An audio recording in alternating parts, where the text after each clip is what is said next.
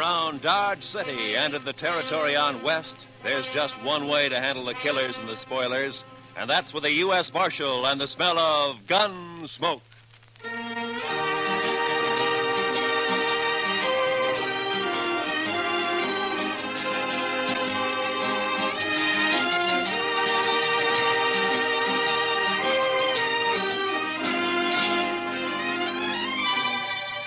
Gunsmoke, starring William Conrad. The story of the violence that moved west with young America. The story of a man who moved with it. Matt Dillon, United States Marshal.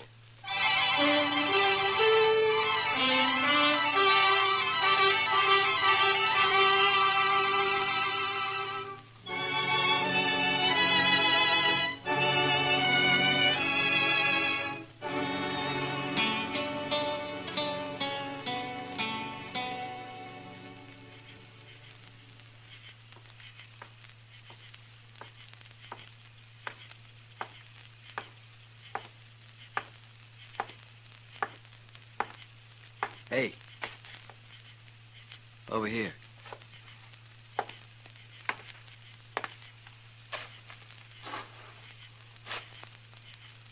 One of the boys said you wanted to see me. Yeah. It better be important, mister. I don't make a habit of coming running with some saddle punk whistles. Maybe you hadn't ought to make a habit of calling people saddle punks. No offense, just an expression. Sure. I came up from the Pecos country. Been here in Dodge about a week. Maybe you've seen me around. I've seen you. I've been talking to people. Oh? Everybody tells me you were a big shot back in Abilene.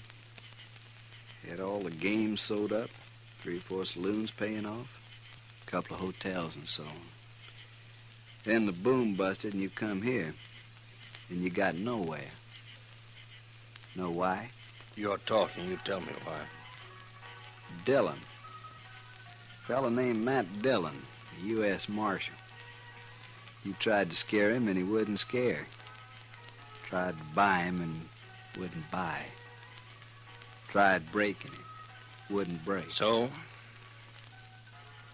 Be worth five thousand dollars to you if I kill him. Might. All right, get it in gold. Keep it handy. My hard? Yeah, you're hired.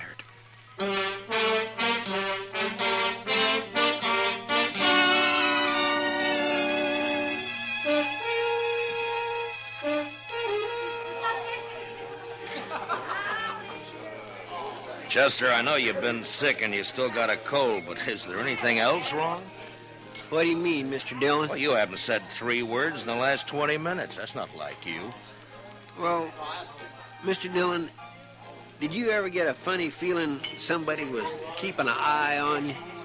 Well, yeah, but. Well, I got one right now. Uh... Chester, I think you got a touch of the heebie jeebies. Maybe. But I tell you, I know there's Well, as somebody... far as I can see, there's nobody in the whole place even paying any attention to us. Somebody is. I had the same feeling the day the Butler brothers come back from Santa Fe. Yeah? I didn't even know they was in town, but I knew somebody was getting ready to call us. And about six that evening, they made their play, remember?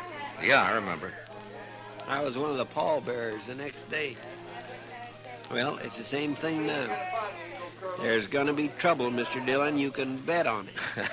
I think you got the wind up over nothing, Chester. Why, the town's never been quieter. Jail's been empty for two weeks. Only new faces around is that bunch of trail drivers that came up from the Pecos. They're all strangers. None of them got any reason to hold a grudge. Oh, uh, there you be. What? I've been looking all over for you, Marshal. Oh, hiya, Billy. Waited over to the jail for nigh on to an hour. I got to talk to you, Mr. Dillon. Uh, I- I'm sorry, Billy, but every time I give you money, you, you buy yourself a bottle and then Oh. stay blind drunk for two Uh, days. It ain't money this time, Mr. Dillon. Got something to tell you. Oh? What? Something I heard. There's a couple fellers talking over to the liver stable. They didn't see me. I was back at the water trough. Hmm, sort of, well, resting, you might say. Yeah, I know. W- well, you know how it is, Mr. Dillon. The man gets dry in this prairie country, and he just what were they can't- talking about, Billy? About you. One of 'em offered to kill you for five thousand dollars in gold, and the other and took him up on it. Uh, there, what did I tell you? Who were they, Billy? Did you know 'em? No, sir. It was dark, and I didn't recognize their voices. They was already there when I woke up, and they left right after that. Well, maybe they Maybe it was just some kind of a joke. Oh, it didn't sound that way to me. No, sir, it's no joke, Mr. Dillon. I told you I felt it. There's somebody in this room right now, somebody who's been hired to kill you. Yeah, but who? I don't know.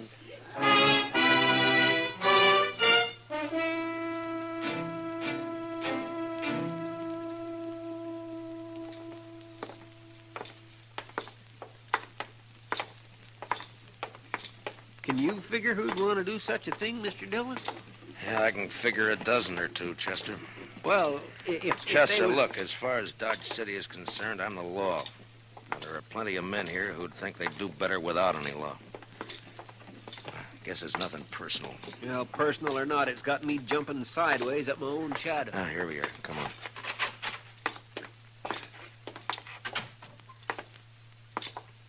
Well, good morning, Marshal. Haven't seen you since the robbery last month. Attempted robbery, Mr. Greeley. Yeah, so it was, thanks to you. Well, Mr. Dillon, the bank's at your service. What can I do for you? Give me some information, if you will. Well, if it isn't confidential. It is, but I want it anyway. Well, I hardly know what to say. Perhaps you'd better step into my office. This way, gentlemen. Thank you. You're after you, Mr. Greeley. Now, just what was it you wanted to know? I want to know whether one of your customers has drawn $5,000 in gold from the bank in the last few days. Any particular person in mind? No, that's what I want to find out. Well, I hope this won't go any farther, Marshal. So somebody did, huh? Who was it, Mr. Greeley? I certainly wish to make it clear that I don't approve of this man, but after all, he is a good customer, and it's not my place. Yeah, to- yeah, I know. Who was it? Lawson Hale. Lawson Hale? Yeah, he took the gold out just this morning, as a matter of fact. Said he was working on a cattle deal of some sort. Yeah, figures all right. Hale's tried to move in on this town ever since he came here. Every time he's tried, I've stopped him. I do hope you'll regard this as confidential. Yeah, sure, sure.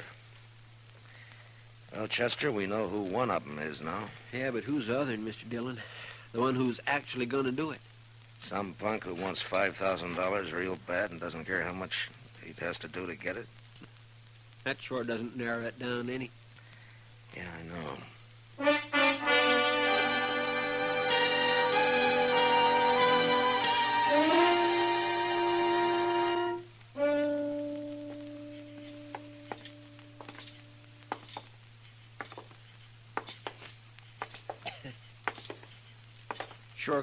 Tonight, Mr. Dillon.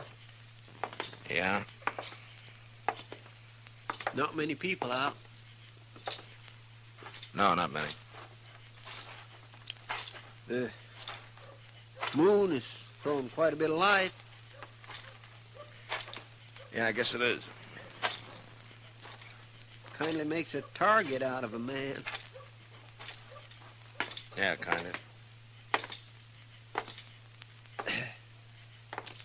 If somebody was out to shoot somebody, this would sure be a good night for somebody to do it.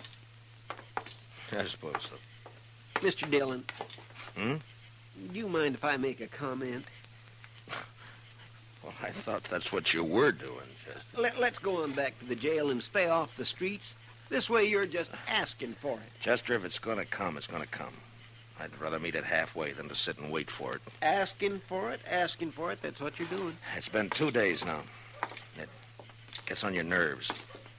When you go out to bring a man in, you know you may have trouble and you're ready for it. But, but this way, and not knowing who or when or where or Yes, sir, Well, I- I understand, Mr. Dillon. It, it, it kindly bothers a man. yeah. Let's walk down to the Texas Trail.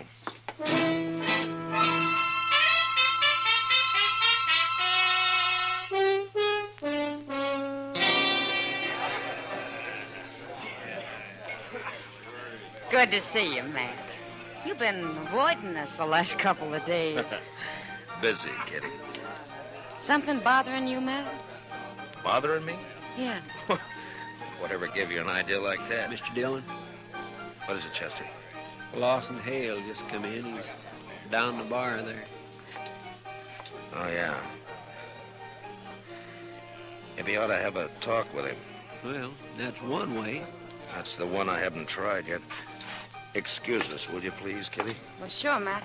Well, whatever it is, be careful, huh? Yeah. Abilene was wide open. Yeah. I had it right in the palm of my hand. That's so? The minute a trail driver hit town, the boys would grab their pay and they'd head straight. well, that- Something I can do for you? Yeah, I want to talk to you, Mr. Hale. Well, I don't see anything stopping you. We'll move down the bar a ways if you don't mind. It's kind of private. Sorry, Marshal. I'm fine right here. I said we'll move down the bar. If it's that important. Pardon me, boys. The marshal's all head up about something. Oh, sure.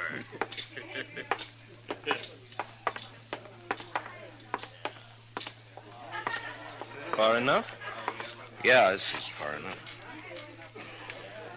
Lawson, I understand you've hired yourself a gunman. Sent him out to get me. Offered him $5,000 in gold. I don't know what you're talking about, Dillon. Wouldn't care to tell me his name. No, I don't think so. You see, I don't know anything about it. What's he waiting for? He's had two days now and he hasn't made a move. Like I said, Dillon. Why don't you I- do the job, Hale? You're wearing a gun. Maybe save yourself some money. I've got no quarrel with you. You mean you're yellow? Scared to call your own play. I said I've You're got a no... weaseling, no good coward, Hale. I'll let it ride for the time being. Yeah, I thought you would.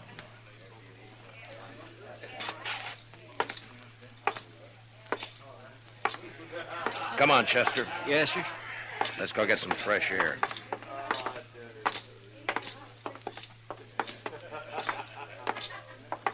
Well, I guess he's just not the kind to take chances, Mr. Dillon. And not when he's got a hired killer out prowling somewhere. Chester, I'm going to run him out of Dodge if it's the last thing I ever do. Dodge can stand it. If I only knew who he'd hired. Then I could force the play myself. This blasted business of having to leave it up to the other man. Waiting, waiting. Over there by the stable. Yeah, I saw the flash.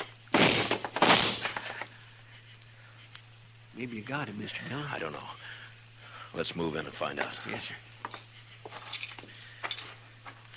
Watch yourself, Chester. You may be playing possum. Yes, sir. The flash was right here by the corner. Yeah. Well, that's that. Looks like you got away, Mr. Dillon. Yeah, he's gone. Took one shot and then ran for cover. He'll be back.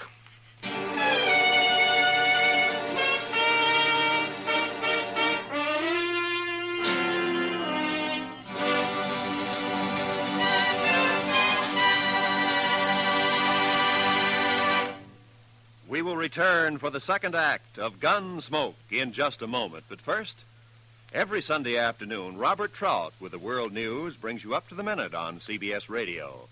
A special feature on this program every Sunday is a flying visit from one of our noted overseas news correspondents.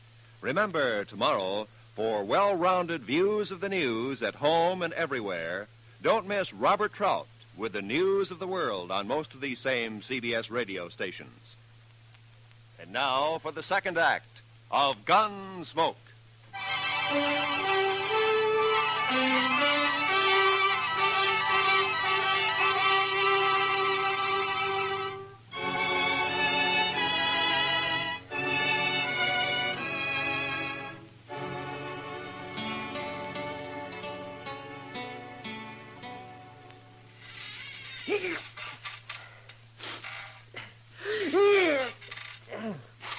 My goodness, my cold sure no better tonight, Mr. Dillon.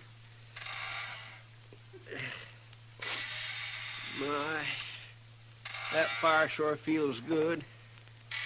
Yeah. Yes, sir, the old jail seems kind of cozy when a man's ailing like I am. Anyway, it's sure a lot better than prowling those streets waiting for somebody to put a bullet in the back of your neck. Chester, will you stop squeaking the chair? Well, sorry, Mr. Dillon.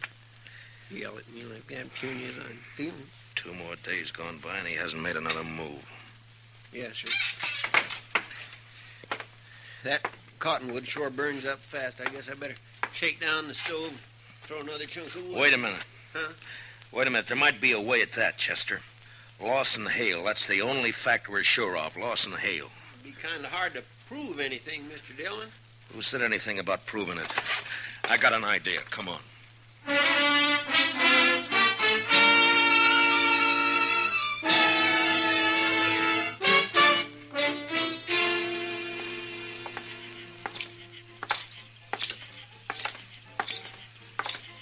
Which one will we try first, Mr. Dillon? Yeah, the Texas Trail, I guess. He'll either be there or at the Longhorn. All right, Mr. Dillon. What you gonna do? Gonna arrest him, since he won't fight. You saw him back down the other night. Yes, but you got no evidence. M- Mr. Dillon, you can't make it stick. I don't intend to, Chester. Well, then I don't see what. What to I can do is scare him. And if I figure him right, I think he's gonna scare easy. Maybe so, but all the Ah, same. look. Look, there he is, Chester. Just came out of the Longhorn. A couple of fellows with him, Mr. Dillon. You, you don't suppose one of them could be? No, no, they're hanging around for the free drinks. There's not an ounce of nerve in the three dozen of them. Come on, let's take him. Yes. The whole herd? The whole herd. One man, two thousand dollars. Hale, Yeah?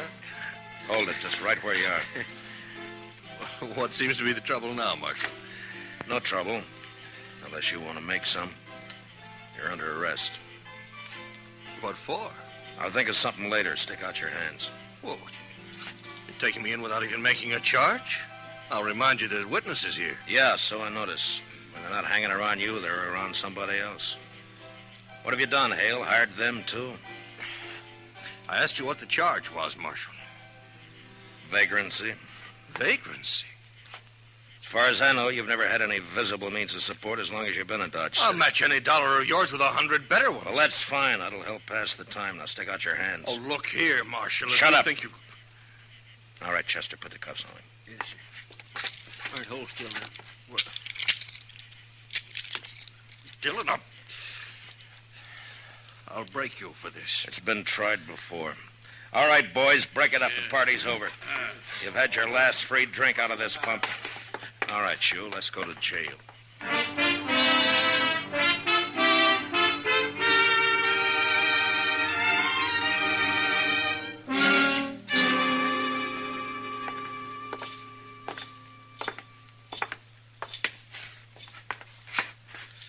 Keep walking, Hale. It's the last cell on the left. I'll break you, Dillon. So help me. Well, you've been trying it for a year. I'm still around. But you won't be after this. I'll take this up. Hold up. Wait till Chester gets the door unlocked. Haven't used this cell for so long, I've almost forgot which pieces. There we are. Vagrancy. I'm living in the best room in the commercial house. Inside, Hale. Now go on, move. No. Now stick your hands up. You won't need those cuffs in here. All right. Make yourself at home. Shut the door, Chester. Yes, sir. Dillon, you've got nothing to hold me on. I'll be out of here by tomorrow noon. Oh, I doubt that. In fact, there's a pretty good chance you'll never get out of that cell. Not alive, at least. What are you talking about? According to the law, I've got a right. The law, huh? You've broken it every chance you've got. Tried to break the men who serve it, like you've tried to do with me, for instance. But when your own neck gets caught, you start hiding behind the law. Nevertheless, All right, law- fine. Right now, the law out here is kind of sketchy. Some things it covers, some things it doesn't. Well, that's where I come in. Now, this little affair between you and me is one of the things the law doesn't quite cover. So I'm going to run it my way. That kind of talk won't help you any, Dillon. You hired a man to kill me, offered him $5,000 to get me out of the way. You can't prove that. He's made one try and he's missed. He's still around Dodge. Somewhere waiting, and he's going to try again. But I don't know who he is. So all the odds are with him. That is your problem, Dillon, not mine. I don't know anything about that. You know what'll happen, though, if he does get me. The first thing Chester's going to do is come straight back here to the jail and pump a couple of bullets through these bars here. Huh? Your boy may kill me, Hale, but you're not going to live to profit by it. Oh, he wouldn't do it. Shoot down a helpless. Pr- oh, neither one of you would do it. Chester and I have been friends for a long time. Why don't you ask him whether he'd do it or not? No question about it, Mr. Dillon. Of course I'd do it. Oh, no, you wouldn't. Well, you hired somebody to shoot Mr. Dillon in the back. I don't see where you got any kick coming. Well, there's your answer, Mr. Hale. That's why I arrested you. Come on, Chester. Let's go look the town over. No, no, it's, it's tonight that he's going. Who's gonna do what? I don't know, Marshal. I don't know anything about it. Oh, that's too bad. If I knew his name, I'd have a lot better chance, you know. So would you. Well, we'll see you later, Hale. Or anyway, Chester will. No, Dillon, you can't do it. You, no, go, don't go out. He'll get you short. Dillon, no, wait. I, I'll tell you his name. All right. He's uh, a trail driver. He came up from the Pecos last week. I doubt if you know him. His name is Ed Granger. Ed Granger. Yeah, I've seen him around the bars. Dark haired, surly looking, scar across his cheek. That's him. Of course, I'll deny all of this in court, you understand? Yeah, sure, I understand. Come on, Chester, let's go get him.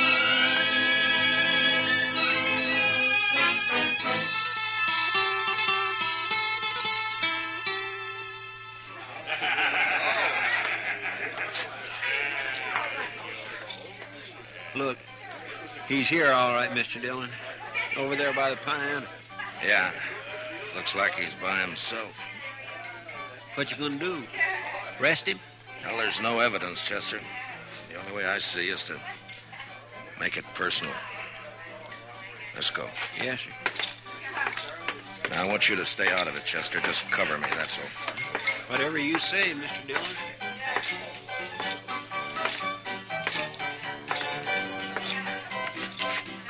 Your name, Ed Granger? Might be. What about it? You know who I am, don't you? Judging by the star, I reckon you're a U.S. Marshal. You ought to do better than that. After all, I'm worth $5,000 to you. Yes, sir. Who says so? Lawson Hale. What? Your memory's getting better, huh? I don't know what you're talking about, Marshal. Sure you do. That deal you made with Hale. He told me all about it after I threw him in jail and persuaded him a little bit. I told you, I don't know anything. You're wearing a gun there, Granger.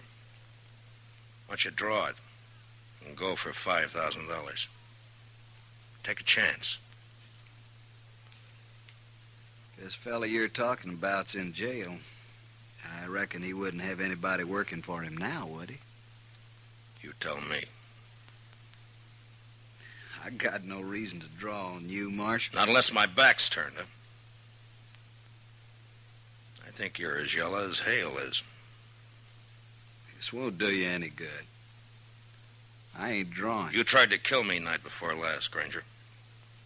Can you prove that? If I could, you'd either be in jail or you'd be dead. Well, since you can't prove it, what's the argument? Just that I don't like the idea of somebody trying to shoot me in the back. If you're any man at all, we'll settle this here and now. Now, leave me alone, Marshal. I haven't done anything.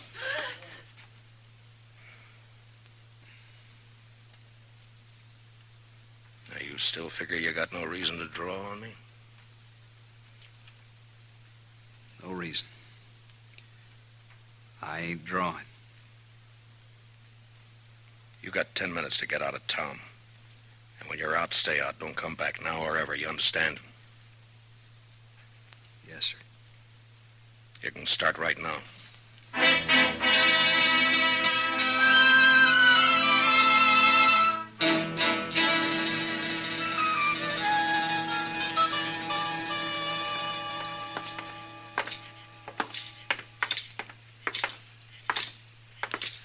Must be nearly midnight, Mr. Dillon. Yeah, about that, I guess, Chester.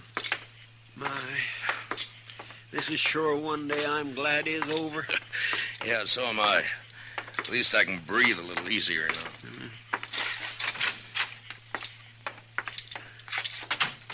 I think I'll get this fire built up a little bit, Mr. Dillon. No, leave, leave it, Chester. Let's go take care of our prisoner first. Huh?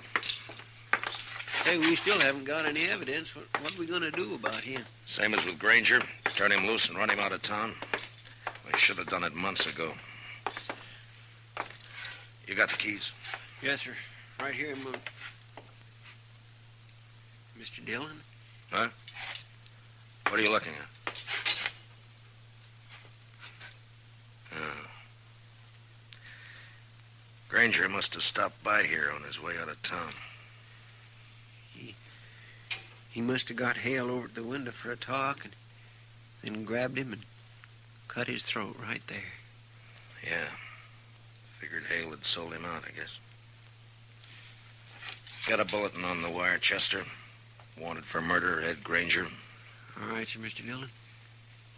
I guess Hale got pretty much what he bargained for. He hired himself a killer in order to kill him. He got it.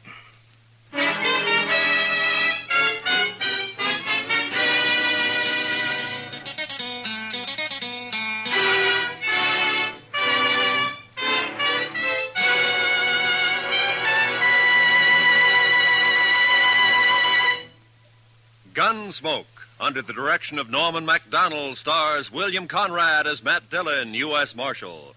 Tonight's story was specially written for Gunsmoke by Les Crutchfield, with music composed and conducted by Rex Koury. Featured in the cast were Harry Bartell, Lawrence Dobkin, Jack Kruschen, and Ralph Moody. Parley Baer is Chester, and Georgia Ellis is Kitty. Gunsmoke is heard by our troops overseas through the facilities of the Armed Forces Radio Service. Join us again next week as Matt Dillon, U.S. Marshal, fights to bring law and order out of the wild violence of the West in Gunsmoke.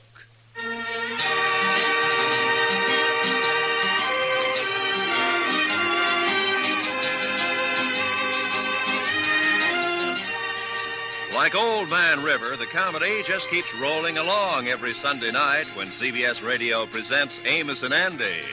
Tomorrow night, over most of these same CBS radio stations, the Kingfish is sure to be up to his usual monkey business. And it's sure to make a monkey out of gullible Andy Brown. Listen for yourself. Don't let one single minute of the fun get away. Tomorrow and every Sunday night, it's Amos and Andy on CBS Radio. This is Roy Rowan speaking. And remember, Edgar Bergen and Charlie McCarthy open fire on your funny bone every Sunday night on the CBS Radio Network.